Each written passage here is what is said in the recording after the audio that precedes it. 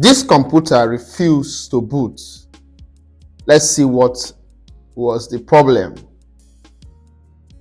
The PC is so rough. The cables is not properly arranged. It will on and refuse. Okay, this is the BIOS setup. Okay. Oh, something is wrong somewhere. Boot to okay, the, the hard drive. You see, so the hard drive is not is not properly connected.